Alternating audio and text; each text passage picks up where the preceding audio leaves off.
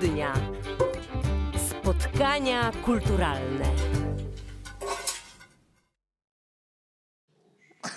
No widzisz, on tego nie puści, nie ma. Proszę?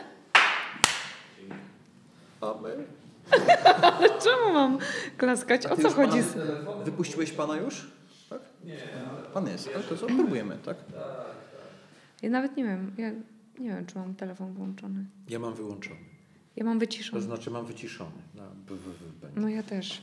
Ale mogę go na samolotowy dać. Albo nie, całkiem go wyciszyć. Bo będzie... b- A ja tam, no.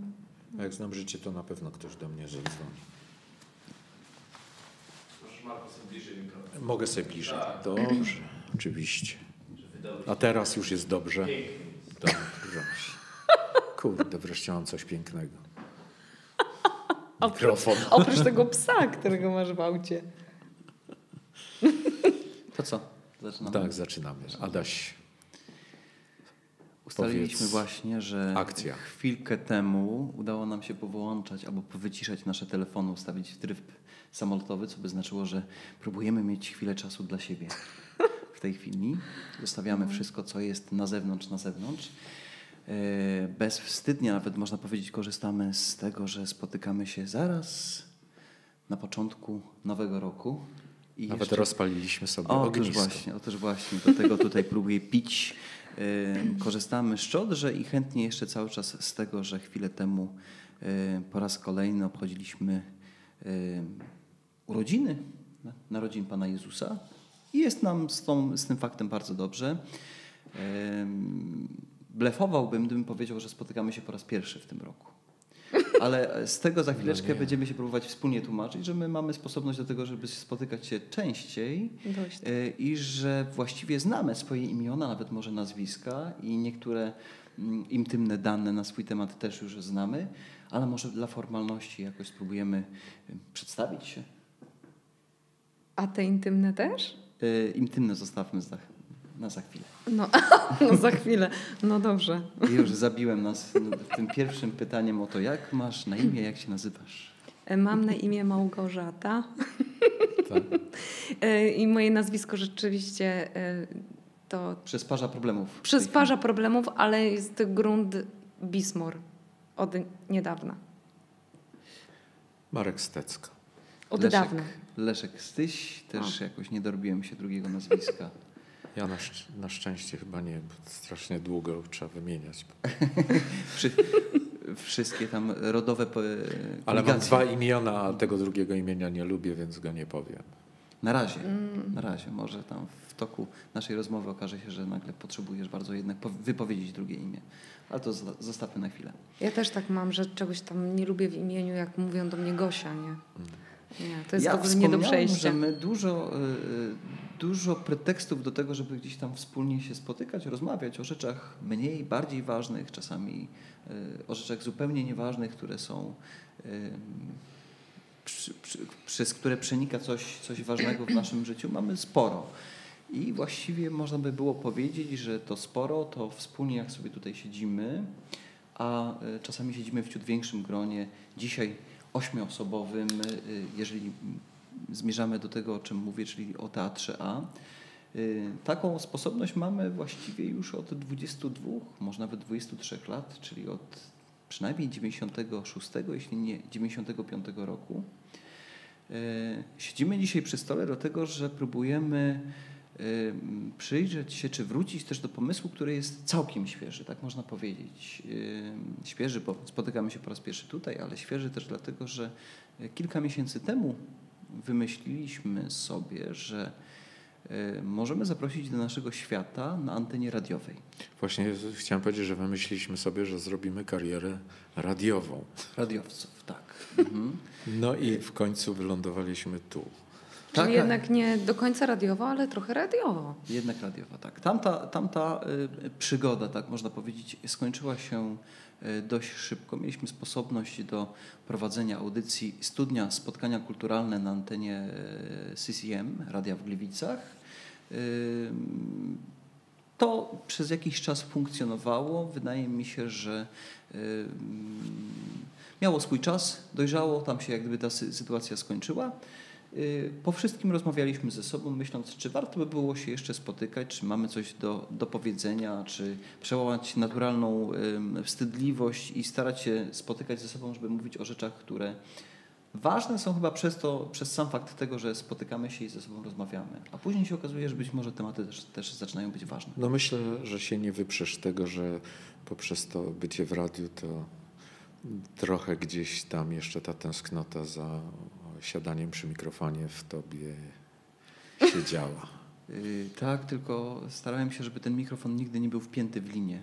W domu zamykałem się w jakimś małej izdebce z mikrofonem i tam Jasne. sobie coś tam. No, no Nie, nie, to jest, masz rację Mareczku, jak najbardziej to jakaś przygoda, która zaczynała się lata, lata temu, yy, jeszcze przez moment, a później kontynuowała w zeszłym roku. Ona mówi o tym, że potencjalnie i w ten sposób wiemy o tym, że mamy swoich odbiorców, kogoś, kto może chcieć słuchać tego, o czym mówimy, a co więcej mamy siebie nawzajem intrygujemy siebie, rozmawiamy o czymś, co jest, co jest ciekawe, yy, mając gdzieś w tyle głowy, że jest ktoś, kto mógłby też być z nami w tym świecie, zostać zaproszony do świata niezwykłego, bo na pewno świat radiowy no jest właśnie. światem niezwykłym. No ja chciałem hmm. powiedzieć, że przecież nasz teatr, Teatr A z Gliwic ma korzenie radiowe. No właśnie, tak, dokładnie twórcy pierwszego przedstawienia tak naprawdę spotkali się w radiu. To radiowcy. Mało mhm. tego, siedząca tu Małgorzata Y, była, mieszka, mieszkała tam, gdzie to radio funkcjonowało i była no, z nim na co dzień. pierwszą słuchaczką. No właśnie.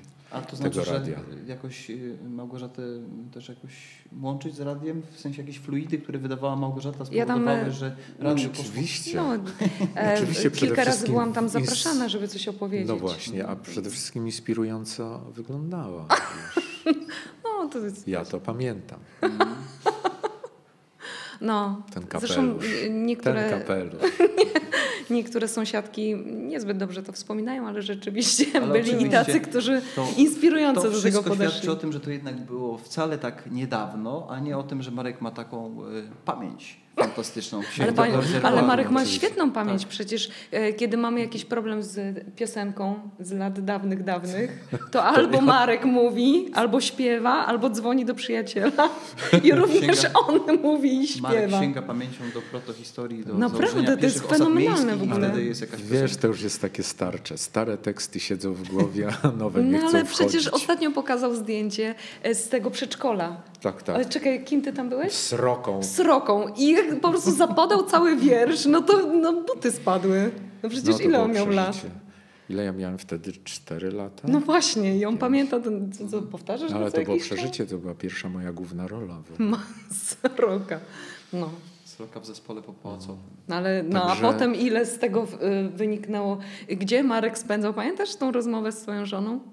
Jak żeście po prostu o zakład poszli, w którym to było pałacu. Tak? Pamiętasz? Przedszkole, tak, tak. No, tak, a tak. potem dzwoniliśmy. Że... chodziło bodajże. Do którego pałacu w ramach przedszkola Dobrze. podrzucano Marka. Ale wróćmy do dzisiejszych czasów. Fajne są wspominki tak. i to jest dla mnie zawsze super, ale Coś mm. mamy chyba dzisiaj też do pogadania. Mamy jakiś temat konkretny, rzeczywiście dobrze, dobrze by się było odrobinkę zdyscyplinować. Tak jak ta nasza studnia, spotkania kulturalne rościła sobie pretensje do tego, żeby się, nawet bym powiedział, trochę monograf, y, monograficznie zajmować pewnymi tematami, takimi kolubrynami natury filozoficznej, teologicznej, czy też po prostu ludzkiej. Tak, to dzisiejsze nasze spotkanie jest refleksją, przemyśleniem mówiącym o tym, że yy, yy, Możemy przewijać tę naszą rozmowę też tego typu y, tematami, ale być może dużo ważniejsze jest to, żeby się spotkać, żeby, żeby się przedstawić, żeby też siebie nawzajem dopytać. To też jest przywilej mieć taki czas, żeby zapytać, a co wy myślicie o tym teatrze A? Którym od bez mała 22-23 lat coś wspólnie robimy. A co myślicie o tej formule y, naszego spotykania się i korzystania z tego, że jest jakieś no, nowe dla nas jeszcze medium, dla niektórych jedyne i y, nie wyobrażają sobie, żeby mogło być inaczej medium polegające na tym, że można być na kanale YouTube. Mm. można coś, i można coś w No trzeba iść w tak zwanym Sitz in Leben, mm. osadzeniu w czasie. W czasie, w życiu. No właśnie. Tak. E, mnie nie pytaj, bo ja e, nic o tym nie wiem tak naprawdę. I dlatego jest to dla mnie takie trochę, powiedziałbym, wręcz podniecające, że gdzieś tam jakiś YouTube, jakiś kanał i gdzieś to chcemy puścić. Ja jestem dość, dość sceptyczny, jeśli chodzi o y, y, relacji, nawiązywanie relacji poprzez jakieś media. Wolę tak, jak sobie tu siedzimy, wprost, blisko, Mhm. przez dotyk na przykład. To jest też y, y, fajne, że my się dzisiaj spotykamy tutaj trzema pokoleniami co najmniej, tak? Chyba tak. O nie, matko, przesadziłem. wiedziałem, że Nie, Nie przesadziłem, Ale może tak? mówiąc, że trzy No pokolenia, ale, właśnie. Tak ale jesteś młody? y, Te nasze światy, Nie, które się mnie Chciałem- to powiedzieć, Chciałem ale- powiedzieć, że na, nasze środowisko, czy jak gdyby my się tutaj spotykamy jako pewne jedno pokolenie. Ciebie bym traktował, Maryczku, jako to pokolenie najstarsze jednak. w całej No. Kto by pomyślał? A Kto by żyjemy, pomyślał to? a żyjemy y, Mógłbyś ze dodać, a nie w wyglądasz. jednej, w jednej puszce, przynajmniej a nie wyglądasz tak. Ale y, y, jest tu człowiek odrobinę młodszy od nas, który też nas zapędza w te miejsca i który jak gdyby na wstępie mówił, że z YouTube'em ma dużo wspólnego. Realizuje nas dzisiaj y, Adam Bismor, prywatnie mąż. Tak, Małgorzaty, tak. I to jest, tak? no właśnie. E, I już jest intymnie, nie? I już jest intymnie. Spotykamy się też chyba w intymnym, szczególnym miejscu, bo w kawiarni pod Aniołami, miejscu, w którym y, Małgorzata z Adamem razem y, tworzą przyjazne miejsce, przyjazną, y, artystyczną e, kawiarnię, a w której też jak gdyby my jako teatr mamy sposobność od czasu do czasu się spotykać. No i graliśmy tu przecież też w ale tej graliśmy kawiarni. już spektakle I oczywiście. pogramy jeszcze. nasze kameralne mniejsze, natomiast ym, to też dopowiedzmy, że staramy się mówić mm, też y, za osoby, których jeszcze tutaj z nami nie ma, tak do przedstawiając teatr już, już dzisiaj, jest nas ośmioro w takim stałym składzie. Y, Jest Małgorzata, a jeżeli chodzi o panie, to jest też Angelika, jest y, Angelika Chirowska, jest Magda Kocur, jest i tutaj odrobinę prywaty Grażyna Styś, moja prywatna żona, zapoznana właśnie w teatrze. Zresztą No. u Was przecież podobna sytuacja. Y, Jest z nami Marcin Dzwonowski na stałe też. Wymieniłem chyba 8 osób. Jacek Dzwonowski, y, drugi muzyk, bracia Ściśle Jacek i Marcin, współpracuje z nami. z- Ściśle Tak. z nami współpracuje, ponieważ Inspiruje to, muzycznie. co robiliśmy jako teatr. No i jest Adam. I jest Adam. Mąż Małgorzaty. tak, tak, Tak, o, którym, o którym wspomniałem. Tak więc myślę sobie, że tak. Można mieć taką układankę z puzli, jeżeli tych puzli jest 8 i nie wymieni się albo nie ma jednego albo dwóch z tych puzli, no to widzimy, że ta układanka absolutnie nie jest pełna. Tak? Jakby nas Mhm. było pewnie z 200 osób w instytucjonalnym teatrze byłoby in, trochę inaczej. Być może ktoś by nie zauważył, że kogoś z No nas ja, tam. gdybym ci momencie cię teraz poprosił, żebyś wymienił tych, którzy z nami współpracują. No to trzeba było usiąść i do końca tego O programu nie, to jest tylko mnóstwo tych. Myślę, że, osoby, że nie, które nie, daliby, się przez nie pomysł dalibyśmy rady, bo to się liczy na setki, No. tak naprawdę.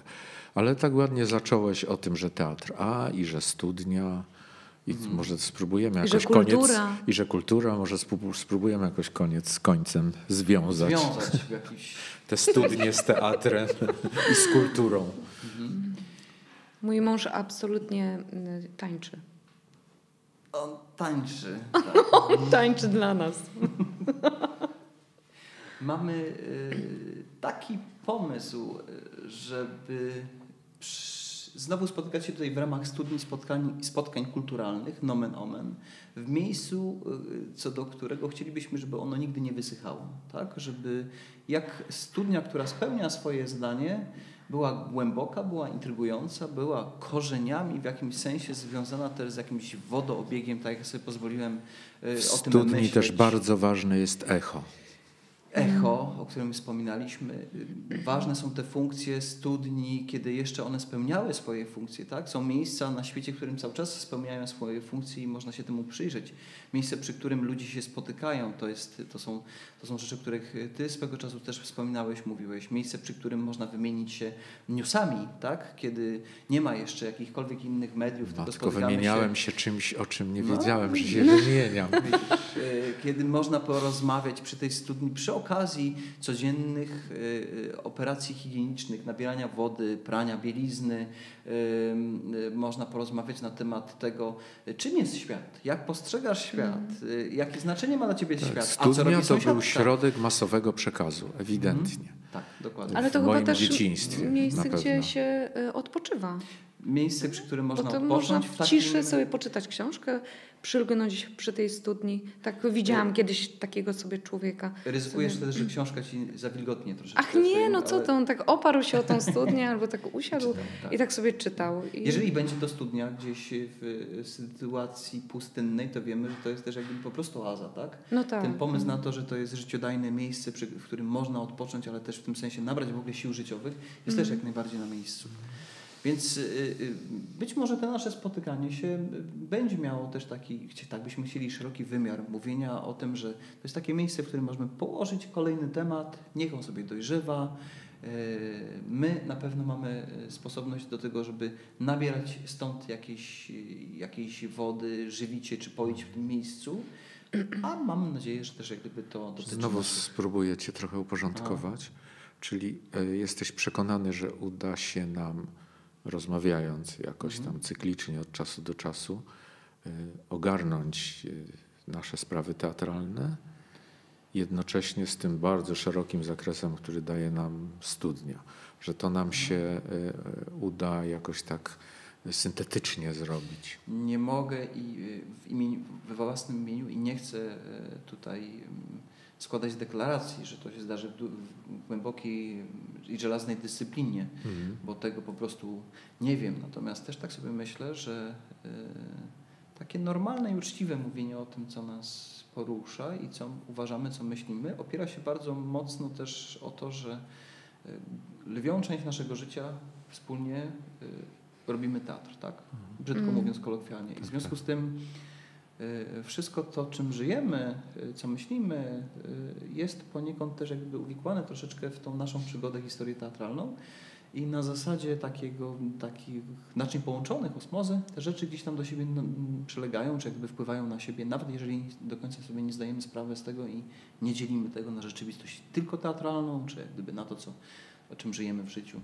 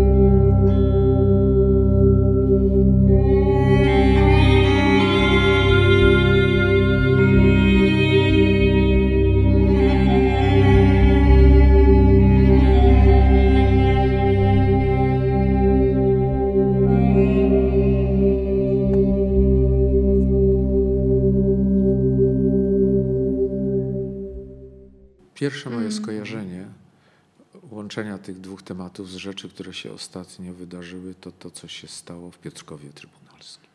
Mhm. Myślę, że możemy o tym powiedzieć. Jakoś y, mm, to, to wydarzenie artystyczne, jakoś Mhm. ono mi tak zupełnie pasuje do tego, że jesteśmy takim, a nie innym teatrem. Że ono tak I że ten targnęło w temat życie. mocno, Studni. tak. Jeżeli byśmy mieli dzisiaj o czymś ciekawym powiedzieć, to ja bym proponował, żebyśmy sobie trochę przypomnieli, co tam się wydarzyło. W tym Piotrkowie Trybunalskim. Mhm. Hmm. No sytuacja Znaczy, była... Powiem szczerze, że to chyba Mhm. plastycznie e, był zupełnie inny spektakl, który żeśmy zrobili. Nigdy nie byliśmy Nie w takiej zrobili- sytuacji, No, e, tak. jak tam. Gdzie, Ta praca była inna może. y, Sytuacja była odmienna. Powiedz tytuł spektaklu. e, O wierność w, rzeczy, w rzeczach małych.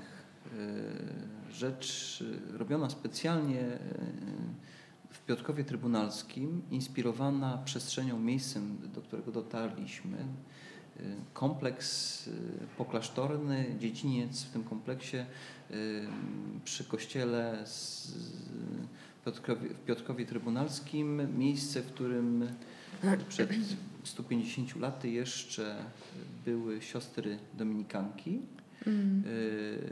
a Piotrków Trybunalski miasto, w którym na pewno po raz pierwszy historycznie można to wpisać, ustanowiono polski parlamentaryzm w dwóch izbach.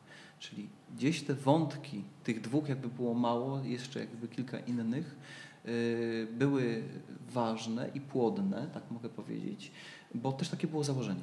No Wiedzieliśmy na wstępie, że mamy przyjechać do, na miejsce, w który miejsce samo plus historia miasta, ludzie, ich, mm. to co ich tam obchodzi, czym żyją, ma się stać też jakby kanwą dla przedsięwzięcia, dla spektaklu, który tam, który tam przykujemy. No i połączenie wątków wielokulturowości w sensie ludzkim też tak. tego miasta. Tak, to było bardzo ciekawe. Uczciwe podejście do tej historii polegało też na tym, że. Ale pamiętasz, jak potem rozmawialiśmy. Jak rozmawialiśmy później. Z różnych kultur. Jak rozmawialiśmy potem po tym mm, przedstawieniu, po tym projekcie, to e, nie wszystkim odpowiadała taka forma pracy, że pracujemy tam na miejscu, zbierając, łącząc te wszystkie wątki. E, w kilka dni przygotowujemy, oczywiście przygotowywaliśmy się do tego wcześniej już, to nie ma o czym mówić, ale jakby zebraliśmy te wszystkie wątki tam na miejscu. I to było e, ciekawe, chociaż e, nie wszyscy byli chętni do podejmowania na przyszłość takich zadań. Mhm, tak. Na pewno yy, poza nowym w tym, że nie mieliśmy gotowego scenariusza przed wyjazdem, przed pracą nad tą rzeczą, nowe było też to, że popracowaliśmy, czy szukaliśmy sposobu na to, żeby pracować trochę inaczej niż od zarania dziejów tego teatru mm. naszego pracujemy. W takim rytmie, tak się zaczynało w rytmie z, spektakli muzycznych, muzykalowych, wręcz kiedy mieliśmy gotowe mhm. scenariusze, kiedy szykowaliśmy role, jak Pan Bóg przekazał od prób stolikowych, zaczynając po mm. wszystko inne. Tutaj mieliśmy do czynienia z czymś, co mm, górnolotnie, a wcale chyba nie można nazwać working progress, takim pomysłem na to, żeby gdzieś tam spotykać się, nawzajem inspirować, szukać okazji do do, do wspólnego tropienia, zastanowienia się, co zostawić, w którą stronę podążamy, co nas inspiruje. Y, pierwsze koty za płoty. To Pierwsze ten koty eksperyment za płoty, tak. Y, w jakiś sposób trudny. Taki Dla mnie niezwykle organiczny, bo wszystko działo się jakby od dołu. Nie z góry, nie przez wymyślanie mhm. rzeczy, dopasowywanie potem do nich rzeczywistości, tylko odwrotnie. Bo zostaliśmy konkretną rzeczywistość i teraz tę rzeczywistość musieliśmy przenieść na to zresztą piękną scenę w atrium. No tak. Ale w bardzo trudnych na, warunkach pogodowych. Na wstępie no, zrobiliśmy no bałagan, tak? Zachowaliśmy mm. się troszeczkę jak Tadeusz Kantor, który nagle przyjeżdżając do japońskiego y, teatru, w którym wszystko tip-top było już ustawione, mów, y, jednym y, rozporządzeniem mówił, to wszystko trzeba obrócić o 180 stopni. W związku mm. z tym y, półtorej dnia czy dwa dni pracuje się na tym, żeby przemontować wszystko w drugą stronę. My zachowaliśmy się trochę podobnie, dlatego że na wstępie podobnie, tak, przyjechali, tak, no. przyjechaliśmy. To, na scenie posadziliśmy mhm. widzów. Tak. Scena była kameralna, malutka, przygotowana na takie kameralne spektakle, a myśmy wiedzieli, że potrzebujemy trochę wiatru we włosach i wiatrów y, płonących, y, płonących rekwizytach naszych. W związku z tym trzeba było to wszystko obrócić o 180 stopni, zostawiając sobie też otwartą przestrzeń dziedzińca za nami, oszkloną, ale jednak otwartą y, przestrzeń dziedzińca z wierzbą płaczącą, która szumiała sobie mm. pięknie za nami. I to był... No właściwie no, można o tym tutaj trochę mm. poczytać już na naszej stronie nowej, którą Adaś zrobił. Mhm. Zapraszamy też y, tak. serdecznie. To jest zawsze Zdjęcia można pytanie. też pooglądać. Y, y, rozmawialiśmy o tym, czy mówiliśmy, zaczynaliśmy od tego, że nowy rok jest trochę pretekstem, żeby pytać właśnie o te rzeczy nowe. I to, co mówisz, Marku, prowokując, ciągnąc nas za język, też jest pewnym wymiarem nowego. Tak? Można zrobić ale ja, ja nie jestem blisko, przekonana o, o tym, że teraz 30. musimy zacząć tak pracować, jak nie, nie, robiliśmy nie. to. Ale jakby się nam jeszcze kiedyś przydarzyło, no może, no, to ja bardzo chętnie. Znaczy, może to było trudne doświadczenie, bo nowe, ale no, ale się udało, topornie, ciekawe, ale zobaczcie, inaczej, ale się udało. spektakli repertuarowych, ja już nie wspominam te rzeczy, które wydarzyły się trochę właśnie jako... Jako jednorazowe rzeczy w tak, ogóle. No tak. Takich też tym, mamy dużo. O tym się mówi dzisiaj eventy, tak? Modnie. Y, Ale my dobrze jesteśmy w eventach. Aha, i przychodzi taki Za- moment, po prostu się przychodzi okazuje, taki że... moment, kiedy robi się coś, o czym można też powiedzieć, to zupełnie było nowe. Tak? No. Jakby było mało takiego codziennego y, podejmowania tego typu wyzwań w ramach y, normalnego sezonu artystycznego, bo my też o tym wiemy, że to jest chyba nasza specyfika. Nie mając Mm. swojego miejsca y, w sensie repertuarowego, instytucjonalnego teatru, w którym byśmy się regularnie spotykali z naszymi widzami, na wstępie powiedzieliśmy sobie, uknęliśmy taką dewizę, że jesteśmy teatrem w drodze. Trzymamy się tego uparcie i to jest i przekleństwo, i przede wszystkim błogosławieństwo myślenia o tym, w jaki sposób pracować, jak szykować kolejne. tak. Ja myślę, że następnym razem moglibyśmy porozmawiać o, o tym, co się wydarzyło, bo to było ciekawe bardzo w Lublinie, jak byłeś na tym spotkaniu tych teatrów religijnych różnych. Mhm, mhm. To jest dla mnie ciągle temat jeszcze taki nie do końca przerobiony. Że są e, jeszcze Inne teatry są, że są w ogóle teatry religijne i jak się ma do tego nasza formuła, która się okazuje formułą e, no, wyjątkową. Mhm. Ja nie uważam, czy- czy to jest Całe- dobrze, czy źle, że ona jest wyjątkowa, tylko... religijnych dziejące się przy... Ale to sobie poświęcimy na to osobny temat, bo jeszcze chciałbym Cię pociągnąć za język o to. jedną rzecz, mogłoby się spotkać Mhm. tylko po to, żeby próbować zdefiniować ten określnik religijny. Mhm. I, tu, I tu na tym jak gdyby to zamknę, Mhm. bo będzie pewnie też sposobne, żeby o tym porozmawiać. A jeszcze tak mm, wracając do tego Piotrkowa, dla mnie chyba najpiękniejszym doświadczeniem w tym wszystkim było to, że kiedy spotkaliśmy się z tymi ludźmi, to oni powiedzieli, że oni nie mieli pojęcia, że taka historia jest ty o takim Piotrkow. spotkaniu y, po premierze, Po premierze tego- panel dyskusyjny, spotykamy się z naszymi Tak, to- widzami, rozmawiamy o... To Aha. t- kiedy Angelika jeszcze Zresztą czytała powiedzmy tą sobie modlitwę... dość nie? dociekliwymi y, widzami, bo oni się pytali o rzeczy bardzo istotne i szczegółowe. Ci, którzy się z nami spotkali. Tak, tam, opowiadali no. o swoich oczekiwaniach nie? w kontekście tej miotły Żyda, który tam, Myśmy ten dźwięk. Myśmy post factum, jeśli pamiętacie, już na, nasz, na naszej stronie facebookowej dostali długą taką właściwie recenzję Tak. jednego z tych Tak, ja nie byłem- niezwykle przenikliwą. Niezwykle przenikliwą, pięknie. chociaż dla mnie Niesamowite. bardzo Mhm. taka... Znaczy bardzo chyba też nawet y, oczekującą, co by Pan zmienił e, dla, dla dobra sprawy. Nie? Ja, a ja jestem Ale- gorąco wdzięczny za te recenzje, bo to też, wyobraźcie sobie, ileż tam życia ktoś poświęcił Po- temu, no żeby, tak. też Żeby coś takiego napisać, tak. o tym swoim świecie. Zresztą groty przemyśleń były bardzo fajne y, w całej tej sprawie. A to znowu o czym mówi?